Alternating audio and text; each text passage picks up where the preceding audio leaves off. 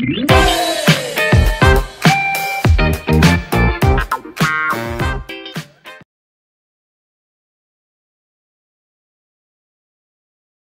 una buena erección y el pene tiene que estar grande y aparte ese pene tiene que estar muy firme y se tiene que ver muy bien y debe de saber hacer su trabajo y aparte ese pene no se debe de venir rápido y debe de poder provocar orgasmos y tiene que este, poder satisfacer a la pareja y entonces el hombre siempre va con una ansiedad por temor al desempeño a la relación sexual. Y entonces en muchas ocasiones, y más cuando la pareja de este hombre es una mujer, a veces las mujeres llegan a tomar una actitud un poco más pasiva, no digo que siempre sea así, pero es como eh, la gran mayoría de las veces. Y entonces la mujer dice, pues aquí estoy, este, soy toda tuya, ¿verdad? Casi creo haz como tu trabajo. Y entonces esto sobrepresiona al varón y en muchas ocasiones pues lo hace fallar eh, muchísimo más, tanto en deseo sexual como en desempeño, el hombre no logra tener una erección y hoy mucho de lo que estamos haciendo es poder transmitirle al hombre de que desgenitalice la sexualidad y que el hombre no se crea que es nada más como un pene con patas, que cuando el pene no lleva a cabo una función adecuada, pues entonces pareciera que se acabaron los recursos. O cuando tal vez en ese encuentro con su pareja, tal vez la pareja le dice, ¿qué está pasando? O sea, no veo una erección, no veo este, que, que, puedas, no veo... Entonces, a veces eh, en el caso de una mujer pudiera como interpretar y, decir, o sea, no se te paró el pene, no tiene una buena erección, entonces quiere decir que no te excito, no te gusto, este, ya, ya no te amo, ya no me amas, este, ya no quieres estar conmigo o, qué es lo que sucede. Cuando realmente el hombre únicamente está teniendo como un problema para poder llevar a cabo esta relación sexual. Algo cierto es que eh, siempre he dicho que un hombre no va a funcionar adecuadamente cuando eh, su pene está como pegado o unido a un cuerpo enfermo. Llegan los hombres a mi consultorio y entonces me dicen, doctor, este, pues estoy aquí porque porque quiero eh, un medicamento o algo para tener una buena erección. Y yo le digo, ok, este, déjame tener unas preguntas. ¿Tú eres eh, diabético? Sí, sí, sí, pero eso ya lo, ya lo veo yo con otro médico. O sea, usted quiere que me dé algo como para que el pene se me pare. Ok, eh, hipertenso. Pues mm, sí, pero como en control, o sea, ya no le echo sal a las comidas, trato de, hacer un poco de ejercicio. Oye, ¿qué, ¿cómo estás en el colesterol? los triglicéridos. Bueno, ya le bajé como a las grasas en mi comida, este, trato como de estar en, un régimen con un nutriólogo, pero doctor, deme algo para que el pene se me pare. Oye, a ver, hablemos un poquito acerca del estrés en tu trabajo, cómo, cómo pasa todo esto. Eh, bueno, pues doctor, usted sabe que, que esto es este pues es el día a día, o sea, las cosas este, así son, o sea, el estrés está eh, a diario. Eh, eh, le digo, oye, ¿y el aspecto psicológico, cómo te has sentido eh, emocionalmente? Este, ¿Te han operado de algo? ¿Cómo va la relación con tu pareja? ¿Qué quiero decir con todo este rollo que les estoy diciendo, con todo esto que les estoy comentando? Lo que quiero decir es que el hombre cree que hay un remedio mágico para poder tener una vida sexual satisfactoria cuando definitivamente no es así. El hombre, al igual que cualquier ser humano, tendrá que conectar con muchísimas cosas en su mente para poder desempeñarse adecuadamente y que cuando la mercadotecnia o incluso algunos médicos o corrientes médicas sexológicas, y lo digo entre, entre comillas, le venden al hombre un remedio mágico para una disfunción sexual, la verdad es que eh, es, una mentira. Eso es una mentira. Eh, el hombre a veces eh, compra una pastilla azul, verde, de cualquier color, ustedes saben a qué me refiero, y entonces el hombre cree que tomándose la pastilla y sentándose allí, pues en automático va a empezar a sentir muchas cosas y el pene se va a levantar y va a poder satisfacer a la pareja y entonces no es así. las cosas en la vida sexual no son de esta manera.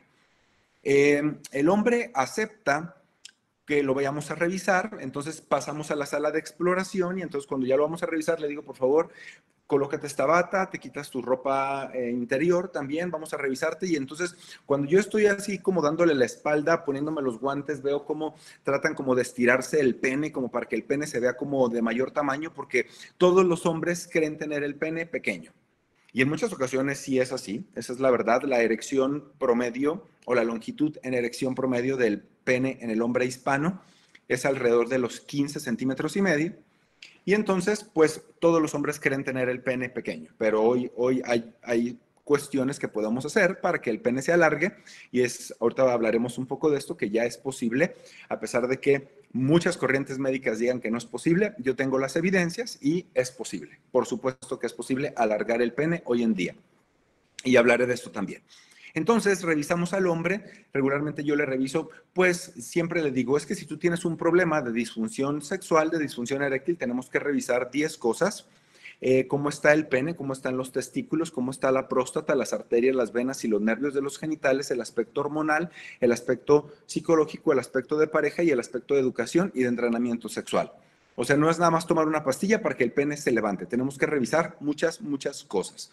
¿Y qué es lo que sucede? Pues que eh, el hombre se siente como cohibido, el hombre no, no, le gusta que le toquemos los testículos, no, no quiere que le revisemos el pene, el hombre como que se tapa, a veces con el vello púbico eh, no, no se ve absolutamente nada, a veces eh, lo que sucede es que hay una muy mala higiene, el hombre no se recorta el vello en su gran mayoría, el hombre no se limpia adecuadamente el pene, no se quita el esmegma, hay muchas, muchas situaciones que a veces tenemos que comentar a los pacientes para que esto pueda ser pues obviamente más efectiva su, exploración y lo que estemos viendo.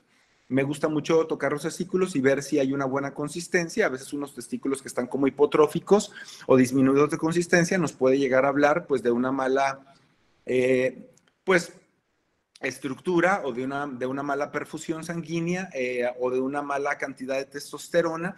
A veces vemos presencia de varicocele, vemos algún quiste, vemos inflamación del el cordón espermático, inflamación del epidídimo, eh, cabeza del epidídimo aumentada de tamaño, una orquitis, inflamación de los testículos. Entonces, todo esto nos va dando información acerca de qué poder comentarle al paciente. Hoy en día sabemos que en cuestiones de eyaculación precoz, anteriormente de lo que se creía, de que la eyaculación precoz era provocada por situaciones como psicológicas, ya sea, a veces los médicos decían, es que este hombre eyacula rápido porque es eh, muy ansioso, porque es aprensivo, porque es nervioso, porque es muy preocupón, porque siempre está estresado. Bueno, sí llega a influir, pero hoy en día sabemos que arriba del 92% de los casos de eyaculación precoz siempre tienen un componente médico, ya sea una situación inflamatoria, irritativa o infecciosa de la vía urinaria o de la vía sexual.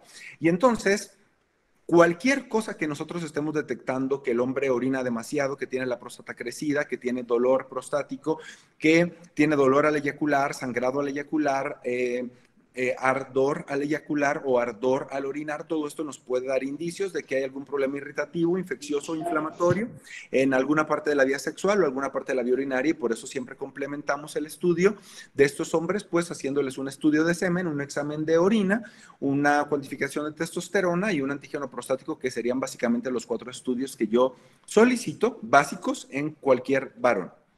Eh, checamos que esté todo bien, cuando el hombre va con nosotros por un problema o por una situación, mejor dicho, de eh, tamaño del pene, pues obviamente también tenemos que checar varias cosas. En un pene, si el pene está circuncidado, si tiene como un buen prepucio, si tiene prepucio redundante, si el frenillo lo tiene corto, si este, ese pene no tiene alguna curvatura al momento de la erección, alguna angulación, cuál es el grosor, cuál es la longitud, cuál es el diámetro, cuál es el perímetro, para poder recomendarle al varón uno de los dos métodos que utilizamos para alargar el pene, que puede ser una cirugía siempre y cuando este pene tenga una eh, longitud menor a 10 centímetros o utilizando un dispositivo de tracción, combinándolo con derivados de testosterona, con hormona de crecimiento y algunas cremas para que la piel del pene pueda dar de sí. Entonces, al varón se le dan como diferentes opciones, casi siempre el hombre va con nosotros por un motivo de consulta, pero ya teniéndolo allí, pues empezamos a comentarle algunas otras cosas y vemos que el varón tiene como otras necesidades que regularmente no empieza como a, detectar, no empieza a, a, darse cuenta, ¿no? Y entonces en ese momento se las hacemos ver. Hoy en día uno de los temas que más veo yo en el consultorio, pues es virus de papiloma humano. Yo creo que el 80% de mi consulta está relacionada con este tema. Tengo algunos posgrados en este tema y entonces me, enorgullece comentar que soy uno de los médicos más preparados, al menos en mi país, en virus de papiloma humano. Y pues eh, soy un centro de referencia aquí en la Ciudad de México, que es donde yo estoy, para otros pacientes que vienen de otras ciudades, incluso de otros países, a atenderse acá.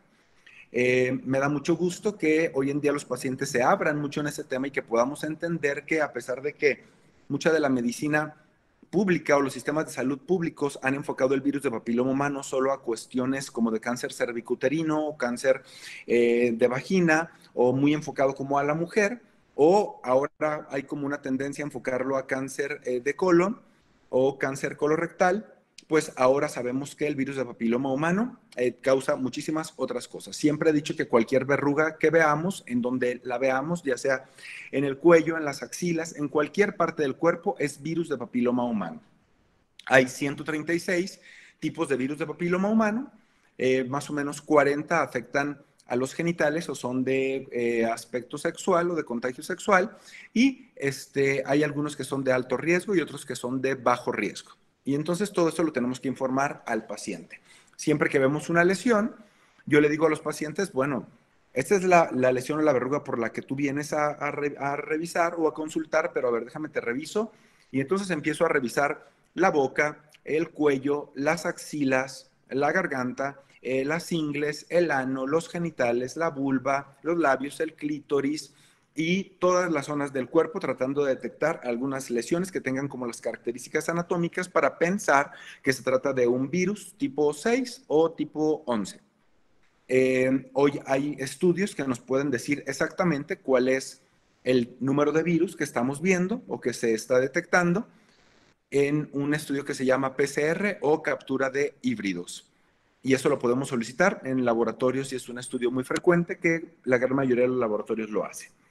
A veces el varón siempre tiene la idea de que la mujer es quien expresa la enfermedad y que a veces el hombre solo la va a como aportar a, o ser portador, pero sin poder transmitirla o sin poder, perdón, expresarla.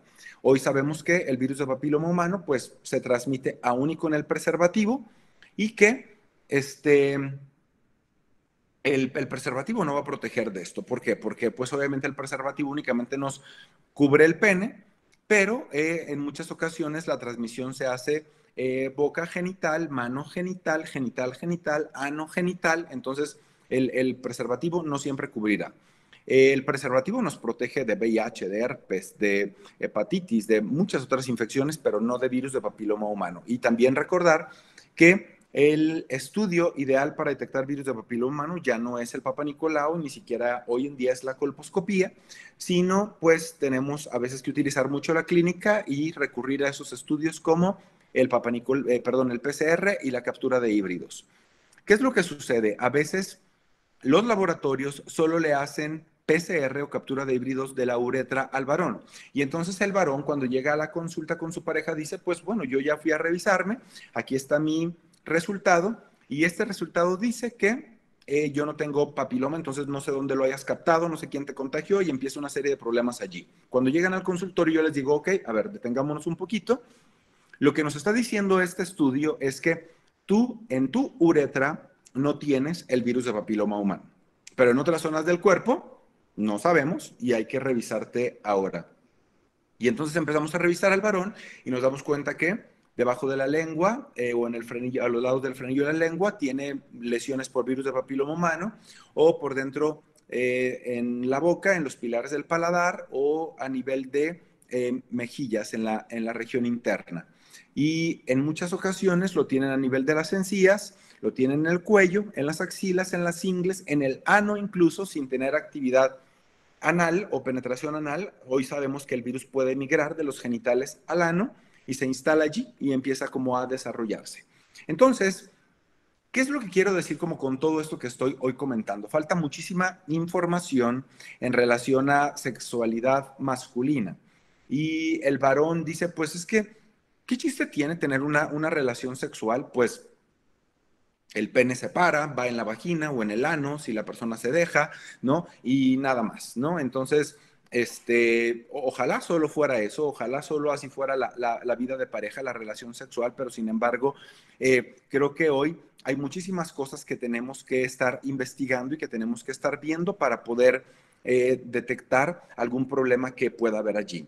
El varón hoy en día se está abriendo poco a poco, poco a poco a estos detalles y cada vez acepta un poco más de intervención de nuestra parte en cuestiones sexuales, pero tenemos que hacer todavía un gran, gran trabajo.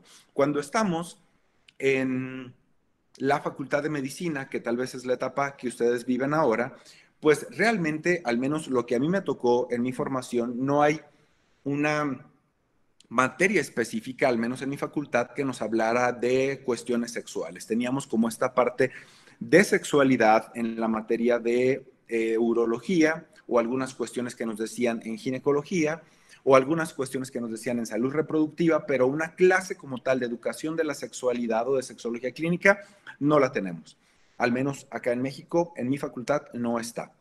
Entonces, cuando salimos nosotros a atender a los pacientes, cuando ya estamos en nuestra práctica clínica, seas de la especialidad que tú seas, pues obviamente el paciente de repente externará alguna cuestión y me he topado con muchos médicos, tanto en instituciones públicas como en instituciones de salud, que menosprecian la cuestión sexual diciéndole al paciente es que por favor, o sea, ¿cómo es posible que usted esté pensando en si el pene se le para o no cuando tiene una cirrosis, cuando tiene una insuficiencia renal, cuando está infartado, cuando tiene un cáncer, cuando todo, todo esto?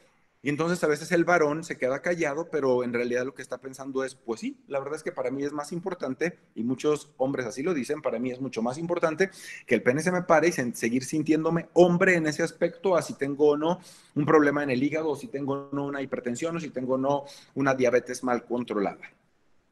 ¿Por qué? Porque desgraciadamente hoy en día todavía existe como este falocratismo o esta eh, masculinidad, por llamarle así, en donde el, el varón centra con mucho de su poder y mucho de sus emociones en sus cuestiones sexuales. Y cuando éstas se ven como muy vulnerables y cuando éstas están como por allí afectadas, pues el varón se derrumba emocionalmente. Y he visto a muchos hombres llorar en el consultorio porque no tienen una buena erección, porque se vienen rápido, porque no pueden controlar esto, porque no satisfacen a la pareja. Y porque, pues, este, las personas eh, les han dicho a los hombres que siempre tienen que estar listos y preparados para poder tener una relación sexual. Em, dice aquí una pregunta, bueno, ahorita vamos a ir a las preguntas, entonces las, tendremos aquí en el chat y al final eh, daré respuesta a las que ustedes hayan eh, colocado acá. Entonces, ¿Qué es lo que sucede? El, varón, anteriormente creíamos que la disfunción sexual iba a empezar alrededor de los 50, 60 años, sin embargo, hoy puedo compartirles que mi paciente más joven que ha ido conmigo por un problema de disfunción eréctil es un joven de 16 años. ¿Por qué? Porque hoy en día, pues las personas están iniciando vida sexual este, a edad muy temprana, las personas están iniciando vida sexual al menos en mi país, acaba de salir una publicación hace muy poco donde se veía que eh, jóvenes entre los 11 y los 13 años estaban iniciando vida sexual, si no es que antes. Yo atendí un embarazo en una niña de 8 años y medio. El papá de este bebé tenía en aquel tiempo 12 años. Fue un embarazo que no se logró, pero fue algo que sí se llevó a cabo, esta concepción. Y entonces imagínense una niña de 8 años y medio que obviamente ya menstruaba, que llega a tener este embarazo con el papá de 12 años, pues entonces, ¿qué, es lo que hoy se está como viviendo? No sé cuál sea la realidad que ustedes viven allá en su país, en Colombia.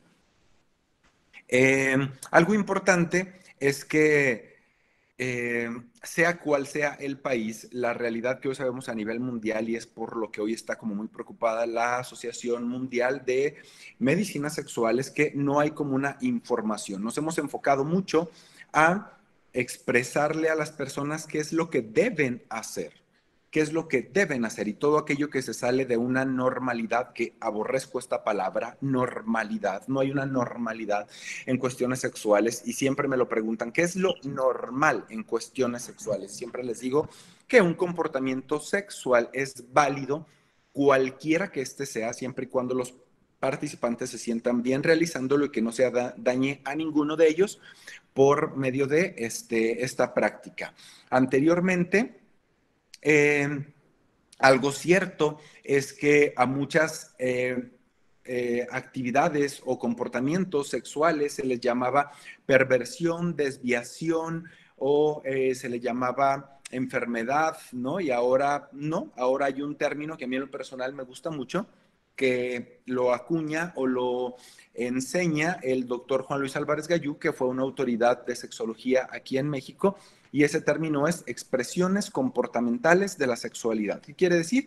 Pues una forma en la que una persona expresa un comportamiento sexual y que bueno, más allá de ser normal o anormal, es la forma en la que se está expresando. Eh, tal vez mi normalidad tú la pudieras considerar como algo que te dé flojera o pereza, o tal vez mi normalidad te parecería como muy agresiva o te parecería muy pervertida. Entonces, por eso no podemos tomar como un parámetro eh, la normalidad eh, general, por decirlo así. Es una palabra que ya no aplica en sexología. Incluso a nosotros como sexólogos nos prohíben decirle a quien nos consulta paciente, porque desde que tú le dices a una persona paciente, en automático le estás poniendo una etiqueta de enfermedad. Entonces, no es válido hacerlo ya así. Eh, tengo hoy en día varones que disfrutan introducirse objetos en el ano, tengo varones que disfrutan vestirse con ropa femenina, tengo varones que hoy quieren ser estimulados de formas en las que anteriormente parecerían eh, comportamientos totalmente enfermos o, inválidos y que esto hace que en muchas ocasiones las parejas de estos hombres se sientan como un poco como agredidos o se sientan definitivamente pues este, como sacados de onda, ¿no? Porque entonces dicen, esto que, está sucediendo no es lo normal que debiera pasar. Creo que cuando estamos ante varones eh, y, entender que, el varón, a diferencia de la mujer, tiene edades de actividad sexual como más amplias, ¿no? El hombre regularmente se empieza, hoy en día sabemos que se empieza a masturbar conscientemente, ¿y por qué utilizo la palabra consciente? Conscientemente a partir de los 7 u 8 años de edad, ¿Por qué digo consciente? Bueno, porque hoy sabemos que hay fetos que a partir del séptimo mes de embarazo, pues ya podemos considerar que ese feto se está estimulando, se está como masturbando y, y que incluso hay registro de ciertos movimientos o contracciones musculopélvicas que semejarían a un orgasmo.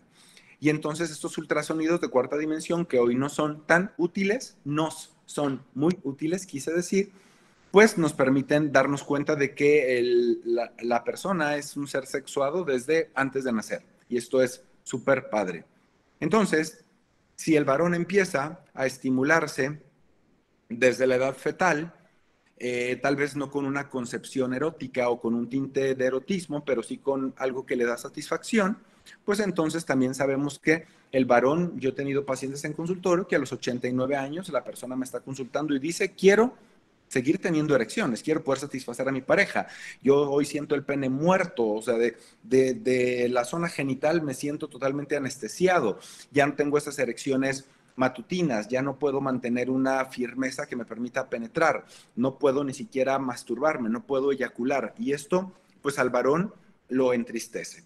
Cuando vemos a una persona que anteriormente, que está en una etapa en la que anteriormente se le llamaba andropausia, pero que ahora ya no le podemos llamar andropausia porque desde sus raíces, la palabra andropausia significaría como muerte del hombre, ¿no? Entonces ahora le llamamos hipogonadismo, en donde pues es esta etapa en la que el varón empieza a tener menor función de sus testículos, una disminución en sus niveles de testosterona y entonces empieza pues a sentirse un poco más cansado, más agotado, ya no tiene deseo sexual, sus erecciones son poco firmes, no puede mantener esta firmeza eh, un tiempo prolongado, no, no tiene como ya el mismo vigor sexual, no se siente como tan capaz, a veces no puede eyacular y obviamente pues le es como complicado poder satisfacer a la pareja e incluso poder tener un segundo evento en caso de que se le solicite.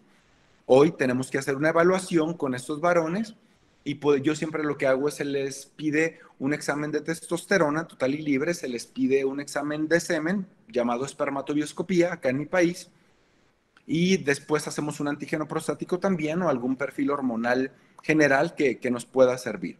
Evaluamos esto y entonces lo que hacemos es le explicamos al varón que tenemos que hacer una reposición hormonal que más o menos estará como en un periodo de tiempo de tres a seis meses en vigilancia por nosotros y que él irá viendo como estos cambios. Entonces a mí me sorprende y me encanta que después de eh, un tratamiento el varón llega conmigo y me dice es que la verdad es que me siento renovado porque ahora eh, volví a experimentar estas erecciones matutinas y ya me levanto y al menos ya descubro que nuevamente está allí, ¿no? El, compañero eh, y está como, pues obviamente activo y ya tengo erecciones en el día y ya me puedo excitar y al menos me tocó el pene y ya tengo algo de sensibilidad y he podido eyacular nuevamente.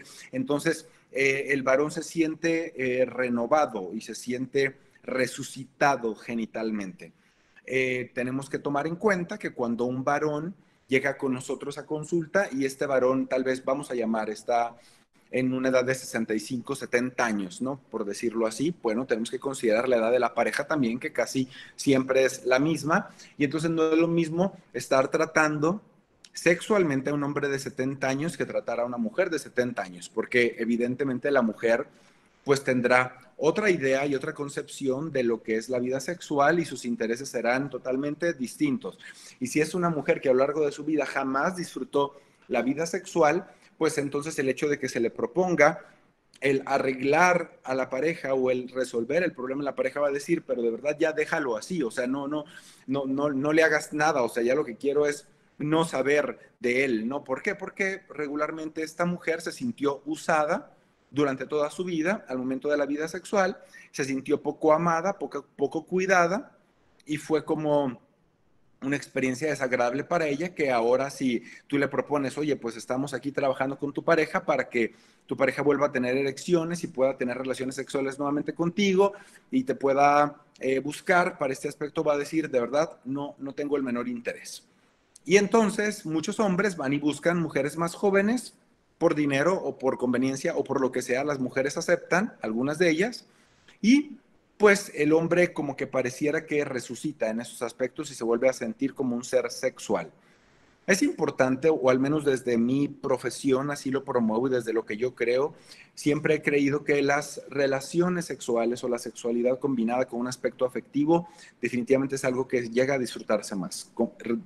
Definitivamente respeto a quien únicamente quiera expresar como un comportamiento sexual sin incluir el corazón y es totalmente válido. Y bueno, será llevar a cabo una relación sexual cuidando como estos parámetros y, creo que también tiene la libertad para llevarlo a cabo y poder hacerlo. Eh, hoy sabemos, hablando en cuestiones sexuales, que un hombre con mucho, mucho estrés, pues será un hombre que tendrá la testosterona disminuida, y hoy en día el factor de estrés es un factor determinante para que el hombre pueda desempeñarse sexualmente de una forma adecuada. El varón va diciendo, pero ¿por qué hoy mi pareja me rechaza? ¿Por qué lo que le hacía antes y le gustaba mucho ahora ya no le gusta y pareciera que ya no causa como el mismo efecto? Bueno, tenemos que recordar que como seres humanos tenemos como ciertas áreas cerebrales que reaccionan a estímulos sexuales, pero que conforme va avanzando el tiempo y la convivencia, estas se van como desensibilizando. Y entonces el estímulo que hicimos hace seis meses que funcionó de forma maravillosa y que provocó mil cosas en la pareja, pues ahora lo volvimos a hacer y ya no provocó absolutamente nada, porque esas áreas ya no reaccionaron de la misma manera y no, no eh, produjeron las sustancias, llámese dopamina, noradrenalina, norepinefrina, eh, de la misma forma y en la misma cantidad, y entonces los efectos ya no fueron para nada similares. Por eso esta situación de renovémonos y preguntémosle a nuestra pareja qué es lo que le gusta cuando hacemos el amor, cuál es el estímulo que más le funciona y que el varón hoy se quite de la cabeza la idea de, pues a ver, entonces, ¿qué es lo que tengo que hacerle a una mujer? Pues entonces le hago así como en el cuello, como que la beso, entonces como que le agarro ahora los senos, como que le meto los dedos en la vagina, le agarro las nalgas y ya tiene que estar gritando, ¿no? Y la mujer dice, pues que a mí la verdad no me gusta para nada que me agarren las nalgas y no me gusta que me toquen los senos y no me gusta que me besen y te huele la boca terrible y tus manos están rasposas y lo único que estás haciendo es como lastimarme y eh, todo esto que no nos atrevemos a preguntar y que entonces damos por hecho o, entendemos que sabemos hacerle el amor a una persona. La curva de la respuesta sexual es una situación muy interesante para poder llevar a una persona que se eleve hasta la fase de orgasmo, la fase de meseta, que sería la fase de mayor excitación. Bueno, creo que primero tenemos que saber si esa persona quiere tener relaciones sexuales, saber si esa persona tiene deseo, saber si esa persona quiere estar sexualmente con nosotros y poder preguntarle qué es lo que a ti te funciona para poder disfrutar eh, una relación sexual. Eh, si ese hombre ha tenido otras experiencias con otras mujeres, no dar por hecho que todas las mujeres van a funcionar, valga la expresión, de la misma manera o van a reaccionar de la misma manera ante el mismo estímulo. Eh, yo he tenido pacientes en el consultorio que me dicen es que a mí no me funcionan los estímulos que le hacen a, a todas las mujeres. O sea, a mí con que me chupen el dedo gordo del pie izquierdo, yo con eso puedo llegar a un orgasmo y entonces a mí no me sirve que me estén agarrando los senos, ni que me toquen las nalgas, ni que me penetren. Yo he tenido orgasmos con que me estimulen el dedo gordo del pie izquierdo, dice una de ellas. Entonces, me parece muy válido y me parece muy importante que las personas pues expresen qué es lo que les gusta vivir sexualmente y que consideren que no tiene absolutamente nada de malo el poder decirle a la persona es que eh, no, a ver, préstame la mano, o sea, préstame la mano, mira, tienes que tocar así, con esta intensidad, con esta velocidad, en esta zona, no te muevas de ahí, de esa parte del cuerpo, continúa allí, ya casi llego, hazle más fuerte, hazle más suave, eh, hazle más rápido, hazle más lento, hazle con mayor fuerza, hazle con menos fuerza y, y poder ir instruyendo a la persona que nos haga el amor de una forma en que nos convenga. Y creo que el varón debe entender esto, que a veces es algo que le cuesta un poco, porque cuando una mujer le propone a un varón decirle cómo le gusta que le haga el amor, a veces el varón reacciona de inmediato diciendo, ¿y quién, quién te enseñó? ¿O cómo es que tú aprendiste a hacer eso? ¿Y por qué me estás ahora proponiendo que, que, haga eso? De que, y entonces empieza como a, tejer algunas ideas y creo que la mujer pudiera decirle, oh, ¿de verdad quieres que te diga quién me, quién me enseñó o quieres que te diga quién me hizo eso? Porque tal vez el del problema serías tú si lo dijera. A veces el varón rechaza como una instrucción en cuestiones sexuales por un machismo que tiene como muy instalado y entonces el varón dice, a mí nadie me va a decir cómo estimular a una persona, yo sé hacerlo, yo he visto películas pornográficas, yo tengo mucha experiencia con otras personas, yo sé hacer eso perfectamente, entonces a mí nadie me va a venir a enseñar cómo estimular a una mujer, cómo estimular a mi pareja, en caso de que sea también un varón. Eh, Creo que esta es parte de la educación y del mensaje que nosotros como médicos tenemos que decirle a, nuestra, a nuestros pacientes y que cuando un paciente vaya con nosotros a consulta y estemos haciendo un interrogatorio orientado, un interrogatorio general y una historia clínica y una exploración, no demos por sentado que todo a nivel genital o todo a nivel sexual está bien. Creo que como médicos es importante que preguntemos este aspecto y que nos interesemos en la vida sexual de la persona. Hoy en día, la salud sexual es un estado de bienestar completo y es un bienestar psicológico, físico, emocional eh, y yo le incluiría hasta espiritual. Y no únicamente es la ausencia de disfunción, enfermedad o discapacidad para poder decir que alguien tiene salud sexual. Entonces, si ustedes se fijan, para poder establecer el concepto de salud sexual, tiene que haber como varias áreas ordenadas y no es únicamente que el pene se levante. Debe de haber muchísimas otras cosas que estén como eh, relacionadas con esto. Por eso, cuando el hombre quiere tomarse una pastilla y quiere funcionar de inmediato, bueno, la verdad es que le decimos que esta no será la mejor manera de hacerlo. Hoy en día hay un tema en relación a, les hablaba hace poco de, papiloma, hace pocos minutos, y eh, ¿qué es lo que tenemos que hacer con el varón? Primero entender que el varón también es candidato para poder aplicarse la vacuna.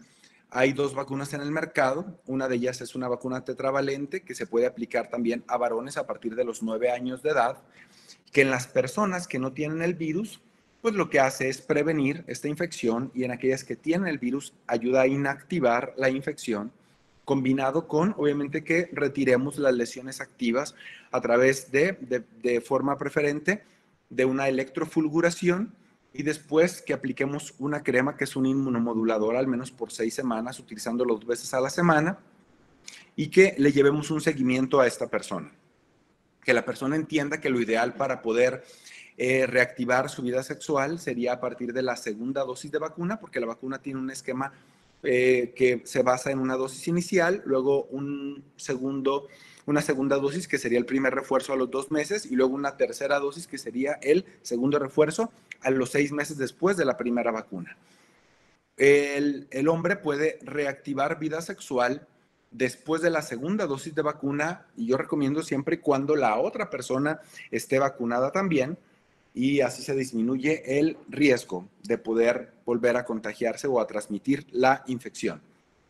eh, estar evaluando al varón. Hoy en día tengo muchos casos de éxito profesional en relación a pacientes que han llegado con una cantidad de condilomas impresionante en genitales o en ano, no se diga, y entonces con esta, con esta estructura de tratamiento he podido eh, resolver estos casos en mi consultorio o incluso a distancia, lo hacemos ahora también. Hoy la, la vida que estamos viviendo nos invita a nuevas formas de tratar a, pacientes. Hoy en día las plataformas virtuales es una magnífica oportunidad para poder atender a personas que están en cualquier parte del mundo y yo que estoy en México pues puedo atender a personas que están desde Canadá o Alaska hasta gente que está en la Patagonia o personas que me buscan de Egipto, de Dubái, de, de cualquier otra parte de Europa o de Asia. Por eso es importante que pues podamos tener esta capacidad, este entrenamiento y este conocimiento para poder hablar de los temas que nos corresponden y de los temas en los cuales somos como expertos. Y evidentemente saber que eh, si, la, si el tema por el que nos están buscando no es algo como que dominemos, pues bueno, hacer la referencia a la persona adecuada en ese aspecto.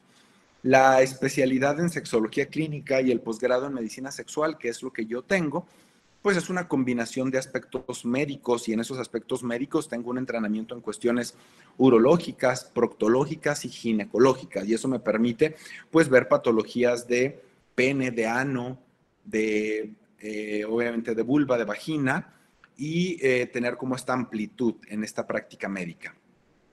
La, la situación de eh, cuestiones emocionales, a mí lo personal es algo que también me apasiona y que considero como algo muy importante cuando estamos haciendo un abordaje en cuestiones sexuales. Habrá personas que no necesariamente van a sentirse satisfechas o satisfechos únicamente con que resolvamos la disfunción y yo me he atrevido a preguntarles, ¿no? O sea que si yo logro que ya el pene se te pare ya todo lo demás está bien contigo y en cuestiones con tu pareja y me dicen, pues, no, o sea, hay como otras cuestiones que hay, pero este no nada más como, como eso, o sea, hay, como otras cosas. Ah, bueno, entonces tendremos que abordar algunas otras cuestiones. Em, algo importante y con lo que quiero ir cerrando para dar un tiempo para preguntas o dudas que ya veo que están poniendo aquí en el chat, pues es como comentarles que el virus de papiloma humano hoy en día es algo que podemos resolver, que podemos inactivar y que podemos regresarle a la persona la tranquilidad de poder reactivar su vida sexual sin el mayor miedo. E incluso muchas mujeres me dicen, yo tengo que comentarle a mi pareja que tuve esto. Y yo me atrevo a decirles, pues no, o sea, si tú ya terminas esa relación con esa persona, por lo que sea, y llega una pareja nueva, tú no tienes que estar diciendo lo que tuviste, porque hoy en día, pues al menos lo que haremos en cuestiones de tratamiento en base a virus de papiloma humano, pues es algo que ya es un tema que ya acabó contigo y solo con la vigilancia es más que suficiente. El alargamiento de pene, que es uno de los temas que hoy le interesan mucho al varón, es posible. El alargamiento del pene es algo que podemos hacer en un periodo de seis meses, darle al paciente de 3 a 5 centímetros y podemos alargar el pene más o menos un centímetro y medio cada mes y medio. Es lo que hoy podemos proponer.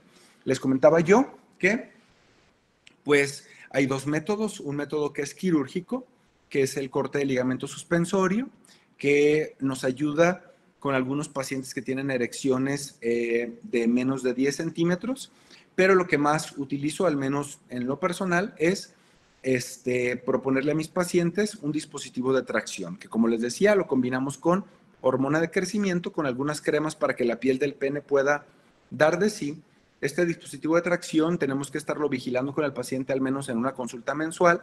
El paciente utiliza el dispositivo de tracción todos los días en su casa, al menos dos horas al día, y le vamos como dosificando los derivados de testosterona, los medicamentos que usemos con ellos, algunas cremas, para que podamos ir preparando la piel del pene. En algunos de ellos tenemos que hacer un corte del frenillo, en algunos otros tenemos que estar monitoreando pues cómo van todas estas eh, acciones que el paciente debe de llevar a cabo.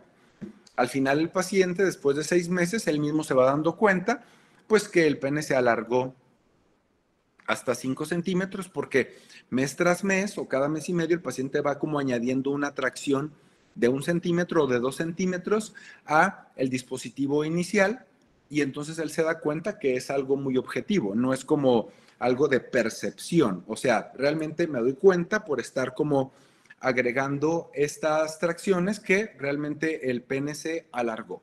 Entonces, pues hoy en día, a pesar de, lo que muchos otros médicos no, no, crean y no pongan en práctica, hoy en día el pene se puede eh, alargar. Y pues hay, hay varias formas en las que podemos hacerlo y el paciente, la verdad es que eh, se va como muy contento. Eh, no estoy como tan de acuerdo en que el pene siga siendo como el protagonista de la vida sexual de los varones. Creo que tenemos que trabajar mucho en ese aspecto de desgenitalizar la sexualidad. Sin embargo, creo que aún estamos en pañales en esta área, pero todos los días eh, trato de, al menos en mi consultorio, hacer esto. justamente el 30 de julio de este mes daré una conferencia solo para varones que se llama No es porque no pueda, sino es porque quiero más, en donde eh, hablaré de muchísimos temas relacionados con cuestiones de salud sexual masculina, en donde tendremos a muchos hombres, yo espero cientos de ellos que estén conectados para poder hablar de temas relacionados con eh, salud sexual masculina. Y aparte, pues obviamente también cómo transmitirles un poco este mensaje que promuevo mucho de, pues, el cuidar el corazón de la pareja, el atender como las necesidades de la persona y que nuestra pareja se sienta como atendida o atendido, según sea el caso, eh, acerca de lo que requiere en cuestiones también emocionales que pueden hacer como mucho más placentera la, la vida de pareja. Entonces, pues eh, doy el tiempo a si hay alguna pregunta. Mientras van agregando preguntas, leo las que tenemos ya en el chat y este, agradezco mucho la atención y la presencia de ustedes hoy en este tema.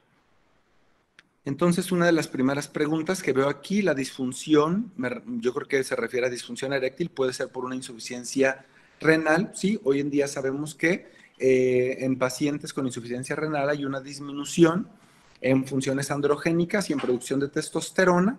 Incluso el testículo se hace hipotrófico y puede disminuir la cantidad de la testosterona que se produce. Entonces, evidentemente, el paciente empieza a experimentar bajo deseo sexual y erecciones poco firmes. ¿Hasta qué edad puede un hombre estar activo sexualmente? La verdad es que es muy incierto, esto depende de cada varón. Y como les decía, he tenido hombres en consulta desde los 16 años hasta los 89 años, que yo creo que sería mi paciente mayor, que, que, me ha buscado por cuestiones sexuales. Y entonces, a los 89 años hacemos una evaluación, igual solicitamos exámenes de laboratorio y hacemos una reposición hormonal, tratando de que el paciente se sienta atendido de forma integral y no solo estarle dando un medicamento para que el pene se pare.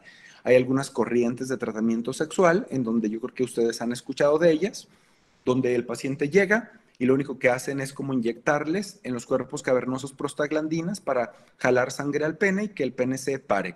Obviamente esto aparte de ser costoso, para el paciente es traumático porque para él tiene que estarse inyectando un medicamento en los cuerpos cavernosos antes de cada relación sexual y le resulta muy poco práctico y no le agrada. Y desde mi punto de vista, respetando cualquier corriente, pues no es lo más adecuado para esto.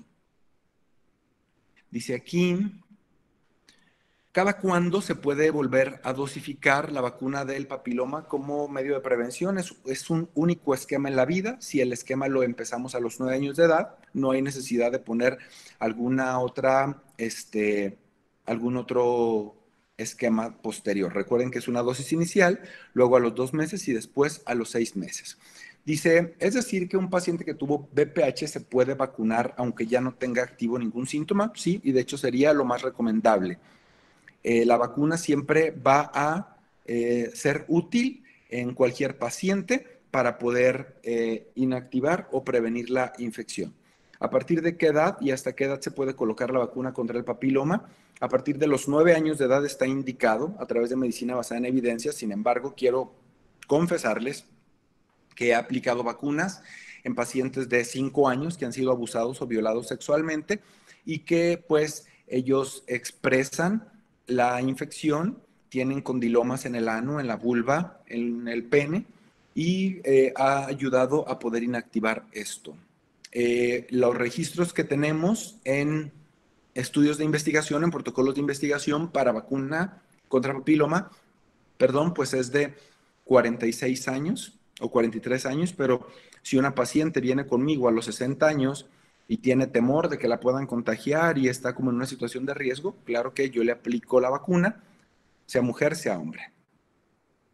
En pacientes jóvenes, ¿cuáles son las causas más comunes de disfunciones respecto a erección y qué manejo inicial podríamos hacer? Bueno, las causas más comunes en pacientes jóvenes son situaciones, eh, en algunos de ellos hormonales, eh, varicoceles sería otra de las causas, y baja función testicular, obviamente combinado con algunas situaciones psicológicas, que es lo ideal hacer primero una batería de estudios, estudio de semen, estudio de testosterona, antígeno prostático, testosterona total y libre, y en base a eso hacer una reposición hormonal. Recordar que no podemos dar testosteronas directas a pacientes jóvenes. A veces es mejor utilizar algunas gonadotropinas.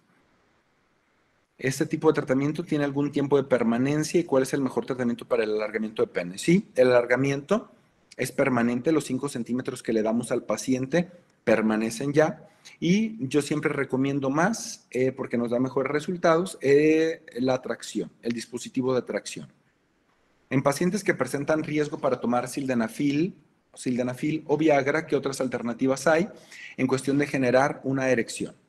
Hay que recordar que no hay una contraindicación tan amplia para eh, los inhibidores de la fosfodiesterasa 5, que sería sildenafil o tadalafil o vardenafil. Únicamente están contraindicados en aquellos pacientes que están consumiendo algún derivado de nitritos, ya sea isosorbide, el nitroparche o algún otro derivado de nitritos. Si no, se puede dar con total libertad cualquiera de estos medicamentos. ¿Qué pasa en los pacientes?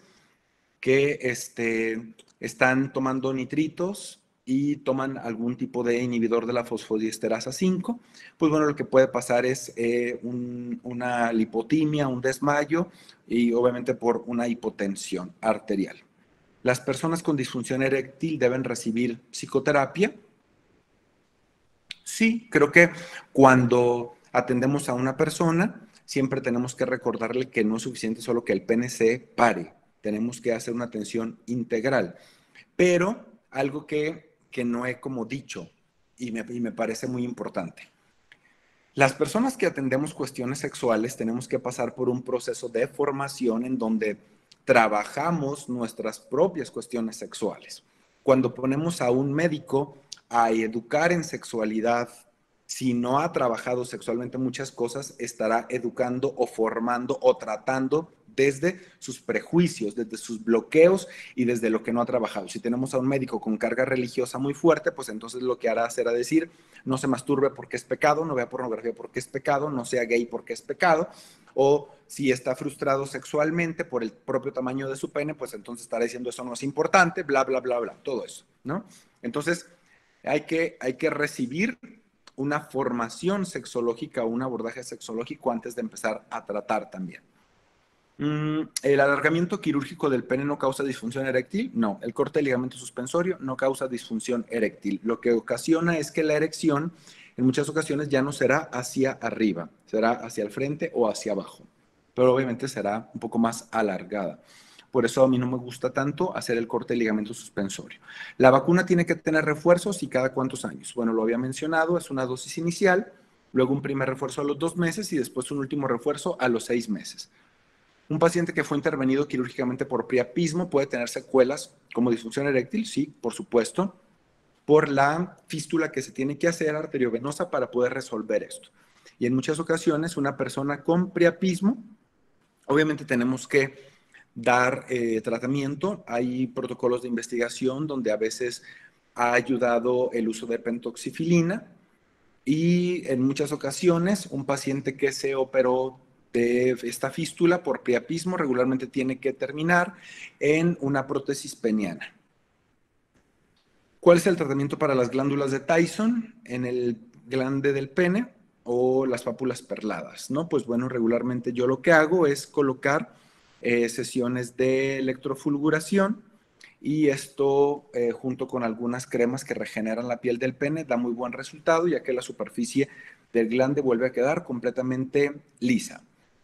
Este, creo que cualquier eh, cosa que podamos hacer por mejorar la sexualidad masculina es muy válida y es de mucha utilidad. Hoy en día el hombre se quiere sentir, así como hoy está como atendiendo otras áreas de su persona, también el aspecto sexual hoy es algo que le está interesando demasiado al varón. No veo ninguna otra pregunta, al menos aquí en el chat. Entonces, no sé si eh, cuál sería la, la siguiente indicación para para esto. Eh, Jaime Vargas, ¿tienes alguna indicación?